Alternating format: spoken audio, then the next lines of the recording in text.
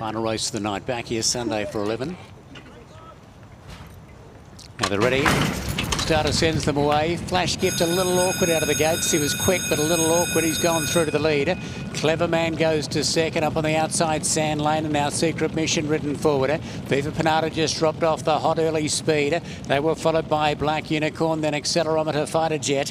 Getting back his video caller. Gap to Dad's the way. And last of all, Wilkinson down the side and Sand Lane with a ton of speed's gone to the lead. Led by two. Flash Gift in second. Secret Mission up on the outside. Then Clever Man. Two lengths away in the field. Next of all, Black Unicorn, a gap to Viva Panada, Accelerometer, Fighter Jet, then Video Caller, gap away in the field to Dad's the Wayne Wilkinson. For home they come, Sand Lane is the leader. Flash Gift off his back, delay challenge goes up, levels up now. Secret Mission and Clever Man coming on strong down the outside. Flash Gift reaches a narrow lead. Clever Man down the outside, getting through Black Unicorn. Sand Lane over on the inside. Flash Gift in front, but Black Unicorn now bursting through Secret Mission. Black Unicorn got the first run of them, went to the lead. Secret Mission tries to peg him back, but Black Unicorn. Black Unicorn takes it out by a neck over Secret Mission and Clever Man. Flash Gift dropped off. He's in a photo for fourth with Fighter Jet out wide. Sand Lane was close up with Accelerometer. They were followed by Video Call. Then came Wilkinson. Dad's the way, and the last to come across the line, Viva Panada.